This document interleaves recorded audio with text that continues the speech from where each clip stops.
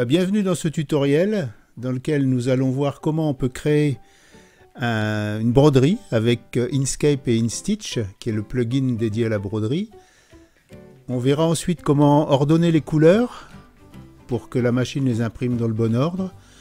On passera tout ça dans le Bernet Customizer pour l'adapter à la machine. Et enfin, on verra ce que ça donne une fois brodé.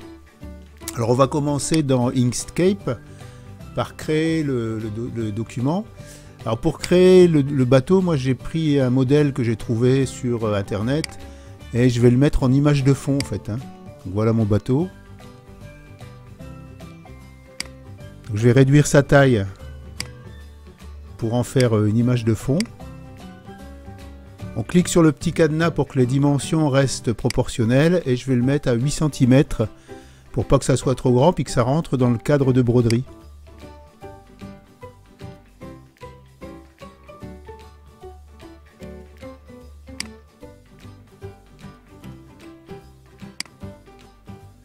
Avec l'outil pour dessiner, on va faire des formes. Donc on clique simplement, on tire, ça allonge la ligne. Donc là, je suis en train de faire le haut de la coque. Il faudra essayer un peu, il hein. faudra s'habituer à Inkscape. Une fois qu'on manipule un peu, ça va. Et on fait bien une forme fermée, c'est-à-dire qu'on va aller recliquer sur le point de départ pour que la forme se ferme. Et ici, on voit qu'elle s'est entourée en noir. Et donc, dans les propriétés de la forme, on va enlever le contour et mettre une couleur à l'intérieur. Alors, enlever le contour, c'est enlever le tour noir, parce que sinon, la brodeuse va vouloir mettre du noir. Et puis on va mettre une couleur à l'intérieur de la forme bah, pour avoir une couleur qu'on pourra, pourra broder. Alors moi j'utilise les numéros, hein. vous avez vu j'utilise les chiffres pour les couleurs, mais vous pouvez aussi choisir une couleur dans l'ordre des couleurs. Alors tout simplement je suis daltonien et j'ai du mal avec les couleurs, donc je préfère mettre un chiffre, moi je sais à quelle couleur ça correspond. Donc là j'ai mis du bleu foncé, un bleu 128, et ici je vais on voit, le, on voit le petit trait qui suit la, souris. Voilà, je, clique à l'endroit où ça doit se positionner. Donc en fait, je vais dessiner le bas de la coque avec la vague par petites touches.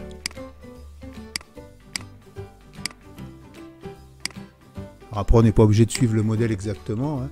Et par contre, je vais recouvrir un tout petit peu la forme précédente, donc le haut de la coque.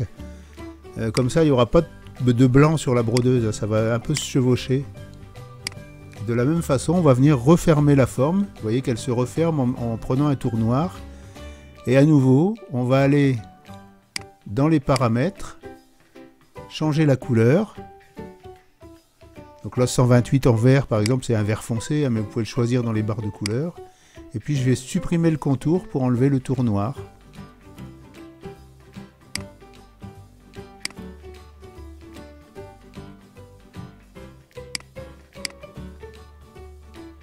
il y a eu un petit raté, là je remets la couleur, 128 pour le vert.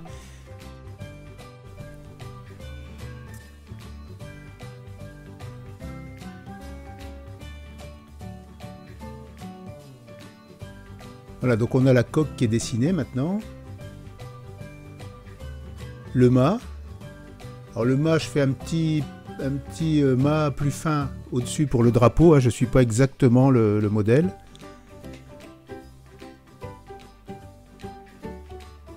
Alors je le dessine en une fois, mais on pourrait le faire en plusieurs fois. Et je vais le mettre de couleur grise.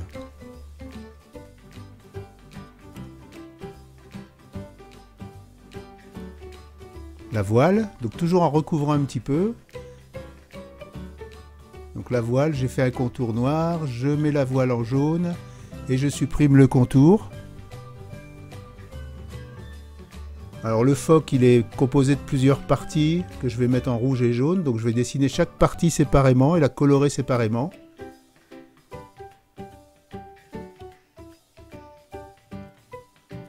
Voilà, une partie jaune, une partie rouge alternée. Toujours la même méthode, on, trace des petits segments et ça se verra pas ensuite que c'est des morceaux de droite, on a l'impression d'avoir une courbe.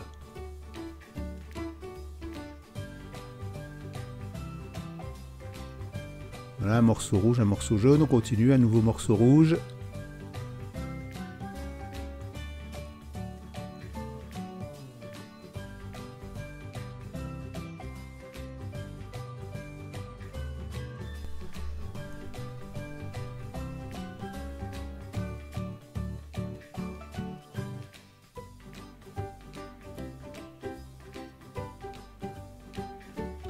Et voilà le dernier morceau du phoque, donc qui va être rouge, toujours en superposant un petit peu la couleur précédente.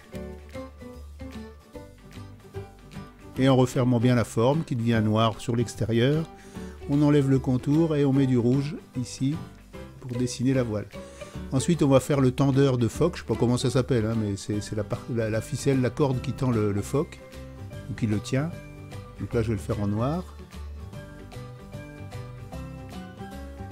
Je vais dessiner mon drapeau.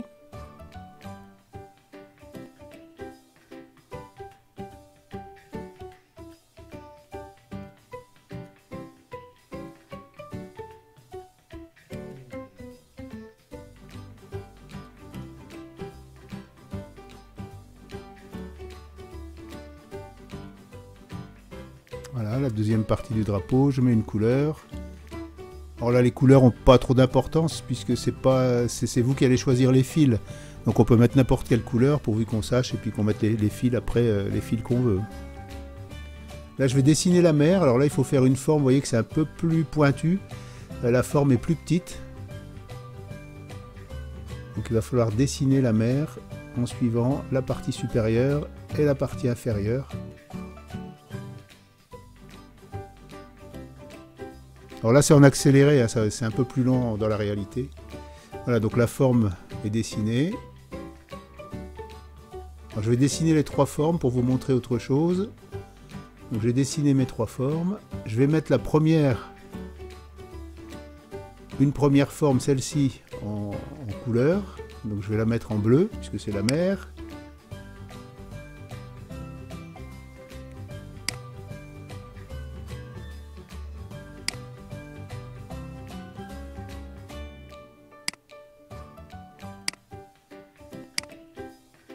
Son contour.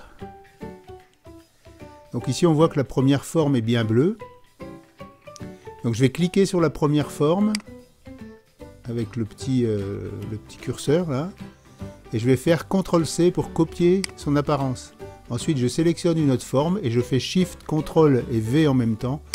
Et ça permet de recopier en fait la présentation d'un objet sur un autre, donc de recopier la couleur par exemple, là, j'ai recopié le fait qu'il n'y ait pas de bordure et qu'il y ait euh, une couleur bleue.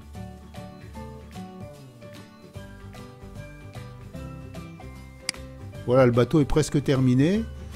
Voilà, on va ajouter une lettre sur la voile. Donc je clique sur la lettre qui est dans la colonne de gauche. Euh, je clique à l'endroit où je veux mettre la lettre et je tape ma lettre. Ensuite, je vais pouvoir la faire tourner. Si vous cliquez une fois sur la lettre, vous pouvez la changer de taille. Une deuxième fois, vous avez des petits cercles qui apparaissent dans les coins, des petits arrondis, et vous pouvez faire tourner la lettre. Et ensuite, pour que la lettre soit prise en compte par la, brodeuse, il va falloir transformer le texte en chemin. Vous sélectionnez la lettre et vous allez sur chemin, puis vous cliquez sur objet en chemin.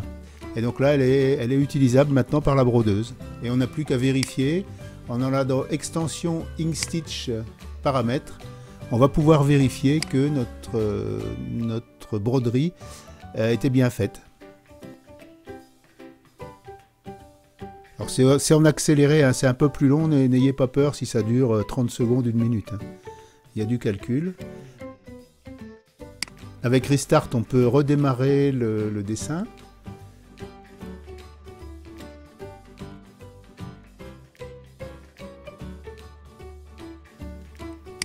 On va pouvoir aussi changer l'angle. Ici, on va pouvoir mettre 45 degrés par exemple. Vous voyez, les, lignes sont horizontales et verticales sur la broderie, mais on va pouvoir les mettre euh, inclinées pour que ça fasse plus joli éventuellement. Donc j'ai fermé le, plugin euh, InStitch et je vais le rouvrir.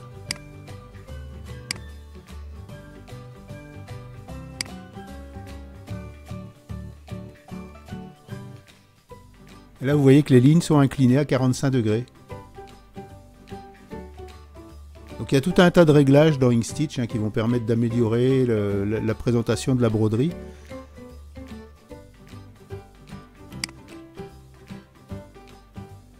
Les lignes sont bien inclinées. Vous pouvez à nouveau redémarrer le dessin. ça va vous permettre de bien voir dans quel ordre les couleurs sont faites.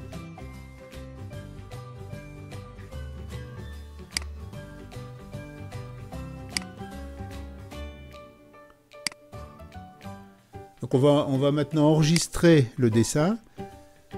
D'abord en SVG. SVG, c'est le format de Inkscape. Ça permet de garder tout ce que vous avez fait, de pouvoir le retravailler par la suite. Donc on fait une première sauvegarde au format Inkscape. Je l'ai appelé tutoriel bateau. Et on va faire une deuxième sauvegarde au format cette fois EXP. EXP pour moi c'est la Bernina, hein, c'est la machine à, broder. Mais vous voyez qu'il y a d'autres formats et donc en fonction de votre machine, vous choisirez un autre format. Donc nous c'est la EXP.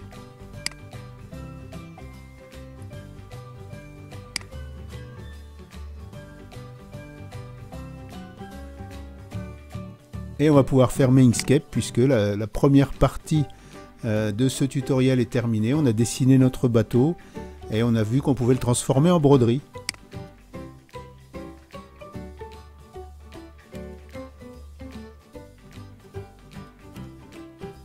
Voilà, fin de la première partie. Donc vous avez vu euh, comment créer le dessin avec euh, Inkscape et Inkstitch. Euh, il faut créer des formes fermées, il faut bien penser à supprimer le contour et mettre une couleur de fond. Vous pouvez ajouter du texte ou pas si vous ne si voulez pas de texte. Il faut penser à transformer le texte en chemin et vous pouvez visualiser la broderie avec Inkstitch avant de faire vos sauvegardes dans les deux formats. On va voir maintenant euh, comment on va ordonner les couleurs euh, pour la brodeuse, c'est-à-dire qu'on va, on va mettre les couleurs dans un ordre qui permettra à la brodeuse de travailler plus facilement. Donc on va rouvrir notre dessin, donc le, le SVG, le fichier SVG. Et vous voyez que sur la droite, chacune des formes qu'on a dessinées apparaît, sauf qu'elle apparaît sous le nom passe avec un numéro et c'est pas très parlant. On a un œil qui va permettre de, si vous cliquez sur l'œil en début de, colonne, ça va vous permettre de voir, en faisant disparaître la forme, de voir de quelle forme il s'agit. Et en cliquant sur le, le nom passe avec un numéro, vous allez pouvoir renommer en fait le, l'objet. Donc ici on voit qu'on est sur la mer, donc moi je mets mer bleue par exemple pour savoir que c'est un morceau de la mer et que la couleur est bleue. Il faut que ça soit court et simple à relire, il faut qu'il y ait la couleur dedans. Donc là c'est le bas du drapeau. Je mets pas de couleur parce que bon, y a pas ça n'a pas d'importance. On mettra bien la couleur qu'on veut au moment de la broderie.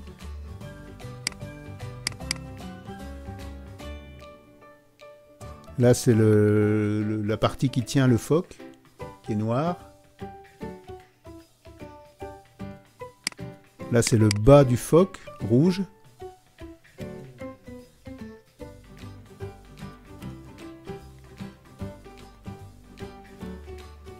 Donc on va faire ça pour chaque partie de notre dessin.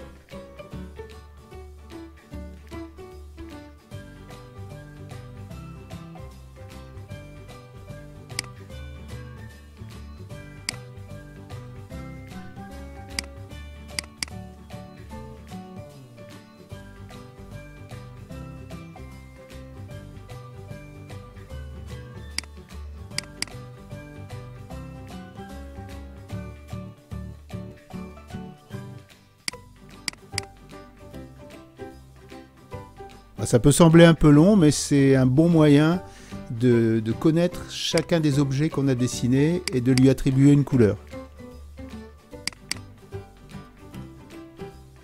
En général, les, broderies ne sont pas composées de, dizaines de couleurs, je dirais, euh, et, et de centaines d'objets, donc c'est relativement rapide finalement.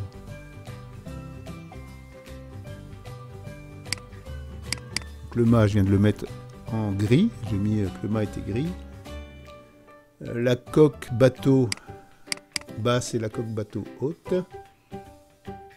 Voilà, tout est renseigné. Vous voyez, les, trois mers bleues sont groupées.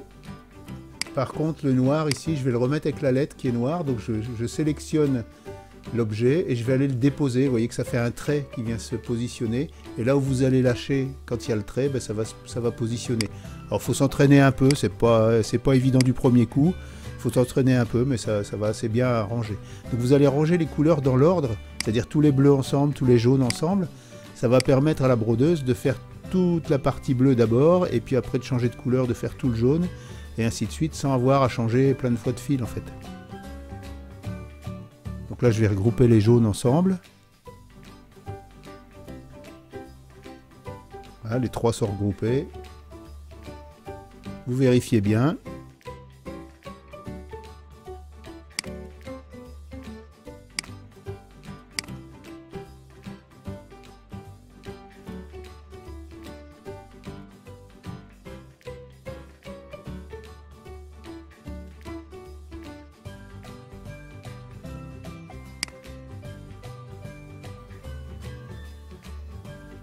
Pouvez vérifier que les couleurs se succèdent dans le bon ordre.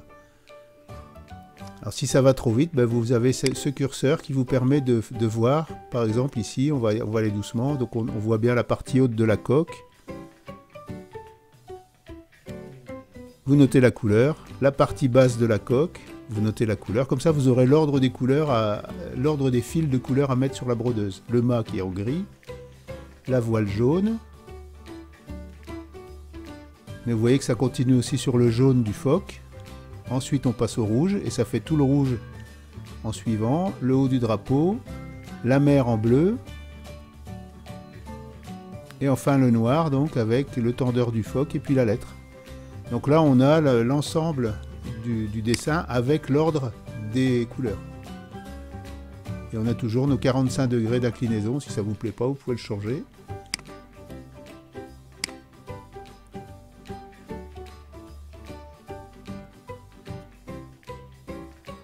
La machine va commencer à broder en fait en partant du bas de la liste. Hein. Donc elle va commencer euh, par le haut de la coque, ensuite le bas de la coque, etc. Voilà, donc notre dessin est modifié. On peut à nouveau le sauvegarder, et comme ça on va sauvegarder les noms des, les noms des objets et leurs couleurs, et on va pouvoir sauvegarder à nouveau en EXP pour la brodeuse.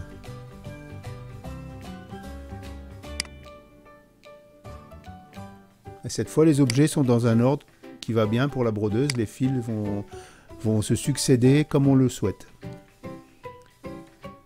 Voilà, cette deuxième partie se termine. On a vu comment organiser euh, les couleurs pour que la brodeuse les, les brode dans l'ordre. Euh, pensez à mettre des noms explicites, d'indiquer la couleur du fil, ranger les broderies et les couleurs à broder dans l'ordre, et puis jeter un coup d'œil dans Stitch pour voir si ça fonctionne. Notez bien le nom des couleurs,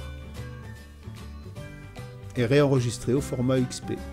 Voilà, on va maintenant passer euh, sur le logiciel Bernet Customizer pour euh, personnaliser par rapport à la machine et euh, préparer la broderie.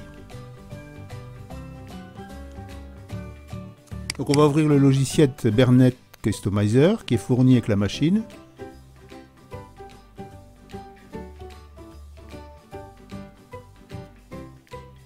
Il propose au départ un cadre de 100 par 100.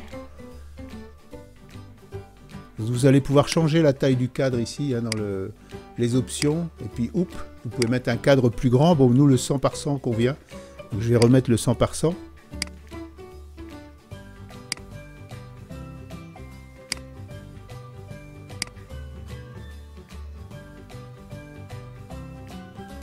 On va ouvrir notre dessin en EXP. Donc on va aller le chercher dans son dossier, on va mettre tous les fichiers pour pouvoir retrouver notre fichier EXP, tutoriel bateau. Il vous demande si vous voulez enregistrer ce qu'il y a à l'écran, comme il n'y a rien, on ne va pas l'enregistrer.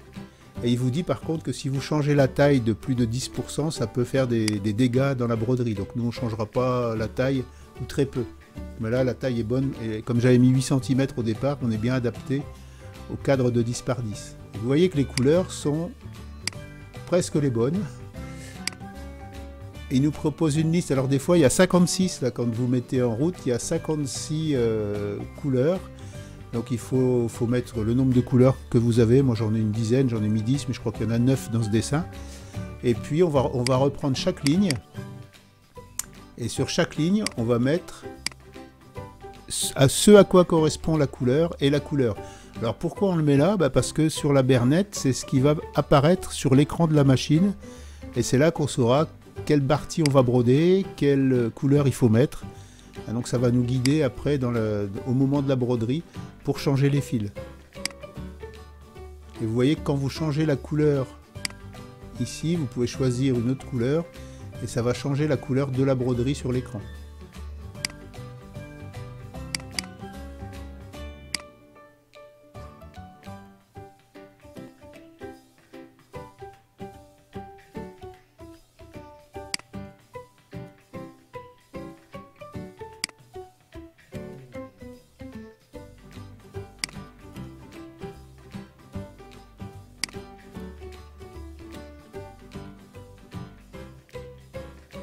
La voile, la voile est en jaune, donc ça, ça doit être bon. On va simplement indiquer que c'est la voile et le phoque en jaune.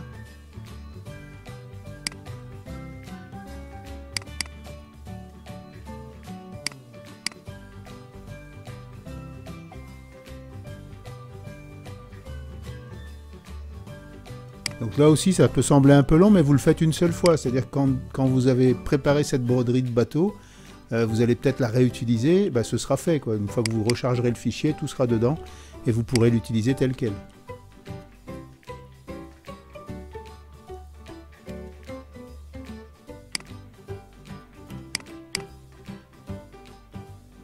Donc là c'est le noir, c'est la lettre et puis le tendeur du phoque.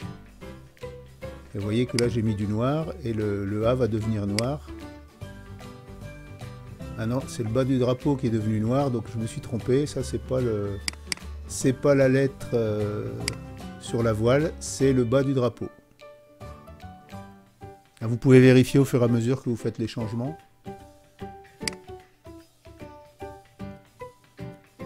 Donc je vais mettre une autre couleur pour le bas du drapeau. Je valide et vous allez voir que voilà, il vient de changer de couleur.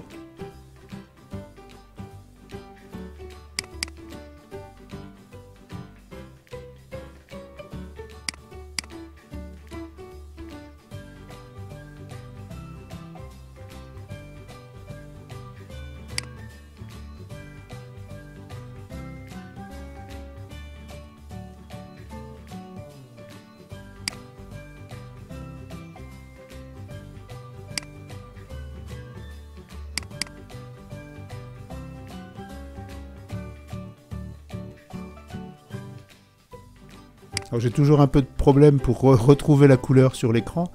Parce que comme je suis daltonien, je, connais les noms des couleurs, mais je ne les vois pas comme vous. Donc euh, c'est un peu difficile des fois. Hein. Et ça explique certaines des erreurs que j'ai faites.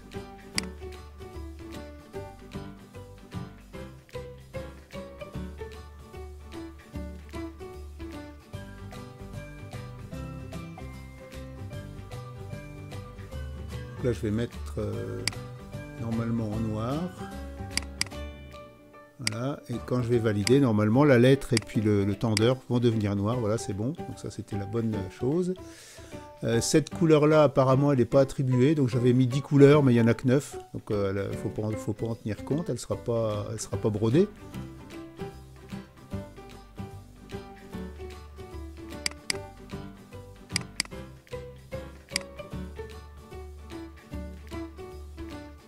Voilà, il manquait le haut de la coque qu'on va mettre maintenant. On va changer sa couleur.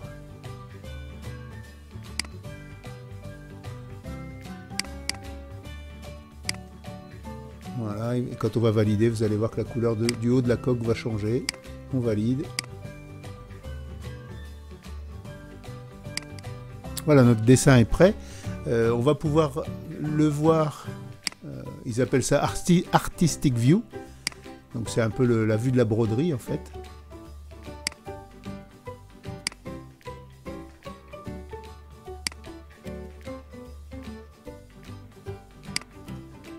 Et on va pouvoir également voir, comme dans Inkstitch tout à l'heure, on va pouvoir voir la broderie. Et là, on est vraiment plus près de la machine, c'est-à-dire que ça, c'est vraiment le fichier qui va être envoyé sur la brodeuse, puisqu'on va générer le fichier pour la clé USB maintenant. Vous vérifiez bien que toutes les couleurs sont bien dans l'ordre, qu'il n'en manque pas. Voilà, on est revenu au cadre, donc c'est bon. Euh, ce qui serait bien, c'est d'ajouter du texte. Donc je vais vous montrer. Là, vous cliquez sur euh, lettering, clic droit, et vous allez pouvoir rentrer du texte, choisir la forme, donc moi je vais mettre un arrondi, on va choisir d'abord la police, vous prenez celle que vous voulez, hein. c'est pas très bien présenté, bon moi j'ai pris celle-là, Asimov, on verra, vous choisissez le cercle que vous allez euh, positionner pour que le texte s'écrive dessus, vous positionnez votre cercle, le texte s'écrit et vous allez pouvoir soit agrandir le texte, le déplacer, ça dépend les, coins que vous allez prendre, ou alors vous allez pouvoir le, mettre en rotation. Voyez, selon les mouvements qu'on fait, on va, avoir différents réglages, il faut, il faut tester, hein, il faut vous entraîner un peu. Voilà, là je vais pouvoir le faire tourner.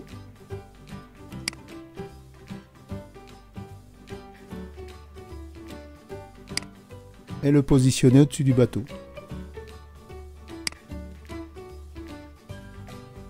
Le logiciel recentre le, dessin, la broderie par rapport au cadre.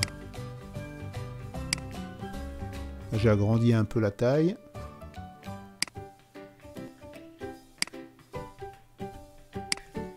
Et j'ai fait tourner un peu.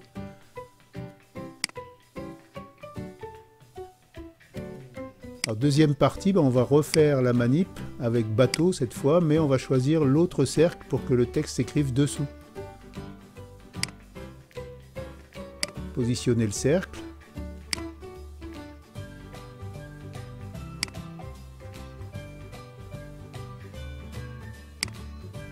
Le texte est écrit, on va pouvoir le déplacer comme tout à l'heure, hein, changer sa taille, le déplacer, le tourner.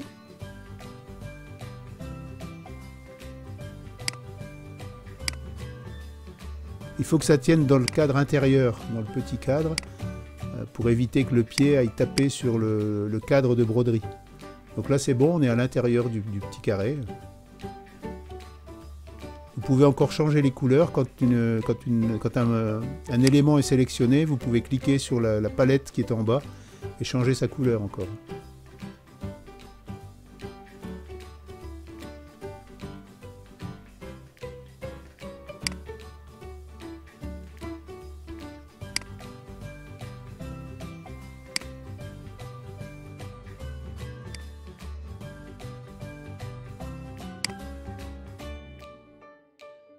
Ce sont les fichiers qui vont être enregistrés sur la clé USB pour la machine. Donc on va aller chercher comme tout à l'heure le fichier EXP.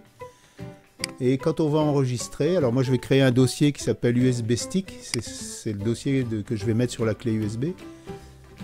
Et quand je vais enregistrer donc mon tutoriel en .exp dans ce dossier, ça va me créer non seulement le fichier EXP comme tout à l'heure, mais aussi deux autres fichiers qu'on va voir. Donc j'ai un total de trois fichiers qui vont être envoyés à la machine. Dans le dossier, je vais retrouver trois, fichiers. Un fichier BMP qui est censé s'afficher sur l'écran mais qu'on n'a jamais vu. Un fichier EXP qui décrit la broderie. Et un fichier INF qui indique sur l'écran quand il faut changer les fils et quelle couleur il faut mettre puisque j'ai renseigné cette partie-là. Voilà, on vient de, finir la troisième partie. Euh, en mettant les, noms aux couleurs et puis en visualisant la broderie avant de créer les fichiers nécessaires à la machine à broder. On va pouvoir maintenant passer à la broderie en réel. Donc les fichiers que j'ai mis sur, la clé USB. Sur l'écran, on va aller chercher la broderie qui se trouve sur la clé USB. Donc il y en a plusieurs. Nous, celui qui nous intéresse, c'est tutoriel bateau.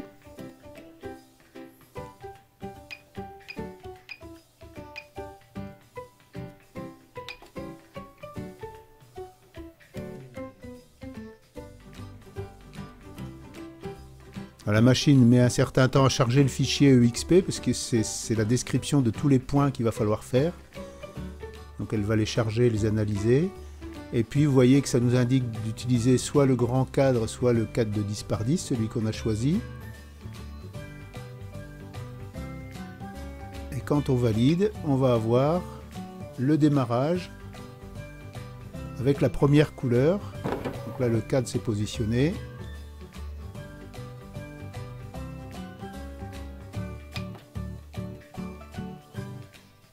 Et on voit qu'on va commencer par le haut de la coque, bleu foncé. Alors le E a été remplacé par un C.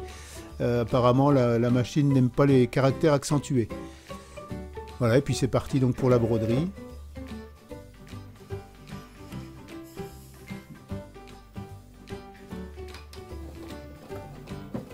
Alors c'est pas tout à fait le même modèle que celui qu'on vient de voir parce qu'il y, a, je crois qu'il y a une mouette en plus, elle est à droite, en haut à droite.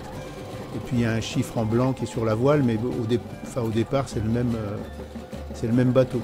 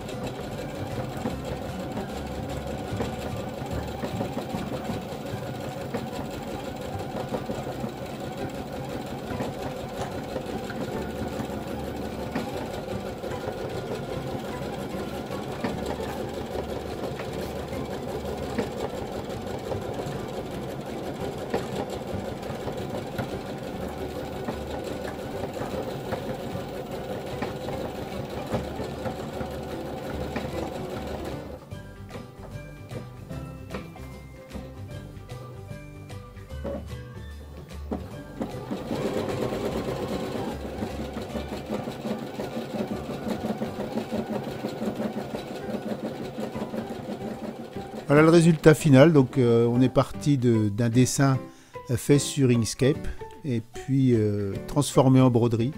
voilà ce que ça peut donner. Après, bah, c'est à vous d'avoir d'imagination et puis de réaliser vos, propres dessins. N'hésitez pas à envoyer une photo euh, si vous avez fait quelque chose à partir de ce tutoriel.